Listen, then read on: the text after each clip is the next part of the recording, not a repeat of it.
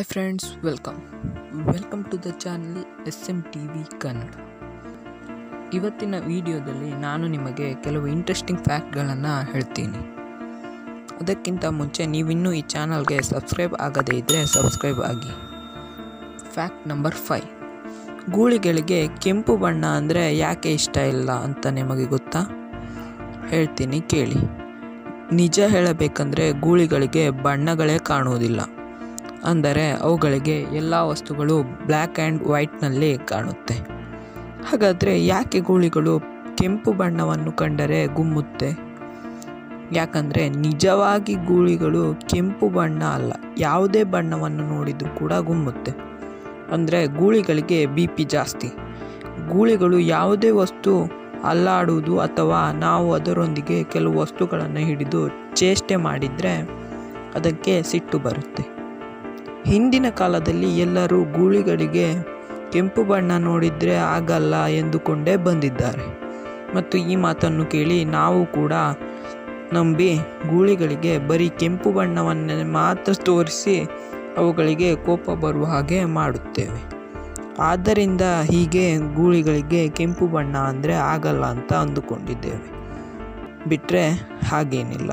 ಇದನ್ನು ಕೂಡ ಒಂದು ಮೂಢನಂಬಿಕೆ ಅಂತ ಹೇಳಬಹುದು. ಫ್ಯಾಕ್ಟ್ ನಂಬರ್ ಫೋರ್ ಫ್ರೆಂಡ್ಸ್ ನೀವು ಯಾವ ಯಾವ ರೀತಿಯ ವಿಚಿತ್ರ ಹೂವನ್ನು ನೋಡಿದ್ದೀರಾ? ನಾನು ಕೂಡ ನೋಡಿದ್ದೇನೆ. ಆದರೆ ಈ ಹೂವನ್ನು ನೀವು ಎಲ್ಲೂ ನೋಡಿರಲು ಸಾಧ್ಯವಿಲ್ಲ. ಈ ಹೂವಿನ ಹೆಸರು ವಿಕ್ಟೋರಿಯಾ ಫ್ಲವರ್. ಇದು ಜಗತ್ತಿನಲ್ಲಿ ಅತ್ಯಂತ ಬಲವಾದ ಹೂ.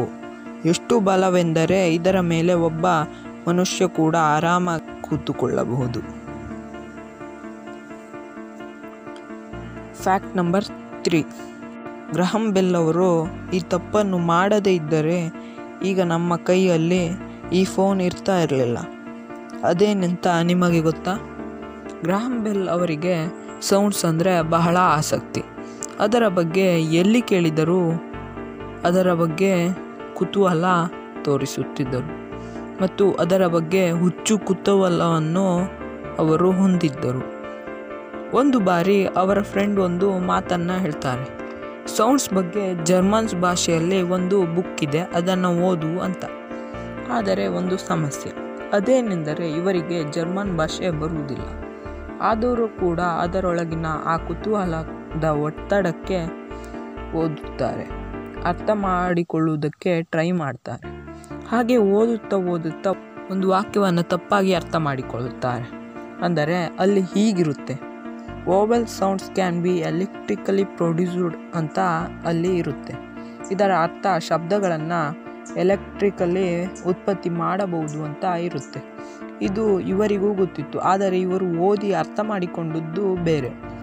Vowel sounds can be electrically transferred ಅಂತ ಓದಿ ಅರ್ಥ ಮಾಡಿಕೊಳ್ಳುತ್ತಾರೆ. ಇದರ ಅರ್ಥ ಶಬ್ದಗಳನ್ನು ಎಲೆಕ್ಟ್ರಿಕ್ ಆಗಿ ಟ್ರಾನ್ಸ್ಫರ್ ಮಾಡಬಹುದು ಎಂದುಕೊಳ್ಳುತ್ತಾರೆ. ಈ ವಿಷಯನ್ನ ಇವರು ಗಾಢವಾಗಿ ನಂಬುತ್ತಾರೆ. ಪ್ರಯತ್ನ ಮಾಡುತ್ತಾರೆ, ಸೋಲುತ್ತಾರೆ. ಕೊನೆಗೆ ಫೋನನ್ನು ಕಂಡುಹಿಡಿತಾರೆ ಇದೇ ತಪ್ಪಿನಿಂದ ಈಗ ಮೊಬೈಲ್ ನಮ್ಮ ಮುಂದಿದೆ. ನಿಜವಾಗಿ ಮೊಬೈಲ್ ತಯಾರಾಗಿದ್ದು ಕಾಲ್ ಮಾಡಲಿಕ್ಕೆ. ಆದರೆ ಈಗ ನಾವು ಅದೊಂದನ್ನು ಬಿಟ್ಟು ಬೇರೆ ಎಲ್ಲ ಮಾಡ್ತಾ ಇದ್ದೀವಿ. Fact number two. ಫ್ರೆಂಡ್ಸ್, ನಿಮಗೆಲ್ಲರಿಗೂ ಈ ಡೌಟ್ ಇರುತ್ತೆ. ಭಾರತೀಯ ಸೇನೆಗೆ ಸೇರಬೇಕಾದ್ರೆ ಯಾಕೆ ಟ್ಯಾಟುಗಳನ್ನು ಹಾಕಿರಬಾರದು ಎಂದು? ಅದಕ್ಕೆ ನಾನು ಈಗ ಉತ್ತರ ಕೊಡ್ತೀನಿ. ಮೊದಲು ಯಾವ ಜಾಗದಲ್ಲಿ ಟ್ಯಾಟು ಹಾಕಿದರೆ ಭಾರತೀಯ ಸೈನ್ಯಕ್ಕೆ ಬರಲು ಅವಕಾಶ ಇಲ್ಲ ಅಂತ ನೋಡೋಣ. ಮೊದಲನೆಯದಾಗಿ ಬಲಕೈಯಲ್ಲಿ ಒಂದು ಚಿಕ್ಕ ಅಚ್ಚೆ ಕೂಡ ಇರಬಾರದು. ಆದರೆ ಎಡಕೈಯಲ್ಲಿ ಕೆಲವು ಚಿಕ್ಕ ಚಿಕ್ಕ ಅಚ್ಚೆಗಳನ್ನು ಹಾಕಿಸಿಕೊಳ್ಳಬಹುದು. ಆದರೆ ದೊಡ್ಡದಾಗಿ ಎದ್ದು ಕಾಣುವಂತೆ ಯಾವುದೇ ಧರ್ಮವನ್ನು ದೂರುವಂತೆ ಅಚ್ಚೆಯನ್ನು ಹಾಕಿಸಿಕೊಳ್ಳಬಾರದು. ಆದರೆ ಬಲಕೈನಲ್ಲಿ ಮಾತ್ರ ಯಾಕೆ ಅಚ್ಚೆಯನ್ನು ಹಾಕಿಸಿಕೊಳ್ಳಬಾರದು ಎಂದರೆ, ಯಾರಿಗೆ ಆದರೂ ಸೈನಿಕರು ಗೌರವಿಸುವುದು ಒಂದು ಸೆಲ್ಯೂಟ್ನ ಮುಖಾಂತರ. ಹಾಗೆ ಸೆಲ್ಯೂಟ್ ಮಾಡುವಾಗ ನಮ್ಮ ಬಲಗೈನ ಈ ಭಾಗ ಎದ್ದು ಕಾಣುತ್ತೆ. ಇದು ನೋಡುವವರಿಗೆ ಅಸಹ್ಯವಾಗುತ್ತೆ ಸೈನಿಕ ಅಂದರೆ ಶಿಸ್ತು. ಶಿಸ್ತು ಇಲ್ಲದೆ ಇದ್ದರೆ ಸೈನಿಕನಾಗಲು ಸಾಧ್ಯವಿಲ್ಲ. ಮತ್ತು ಎಡಕೈಯಲ್ಲಿ ಬಿಟ್ಟು ಬೇರೆ ಯಾವ ಜಾಗದಲ್ಲಿಯೂ ಅಚ್ಚೆ ಇರಬಾರದು. ಈ ರೂಲ್ಸ್ ಇರುವುದು ಕೇವಲ ಶಿಸ್ತಿಗೋಸ್ಕರ. ಬಿಟ್ಟರೆ ಯಾವುದೇ ಆರೋಗ್ಯದ ಸಮಸ್ಯೆ ಬರುತ್ತಂತ ಅಲ್ಲ.